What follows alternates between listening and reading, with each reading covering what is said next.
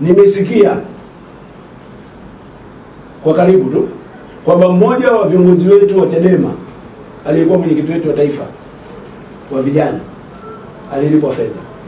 Nimesikia, sina uhakika kama kweli au sio kweli, lakini ninajua kwa uhakika kwamba mbunge wa Kinondoni Abdalla Mtulia, Maulidi Mtulia amenunuliwa.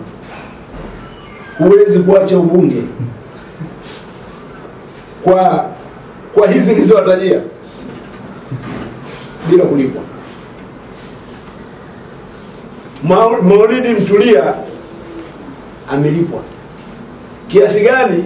Yeye ni Mungu wake,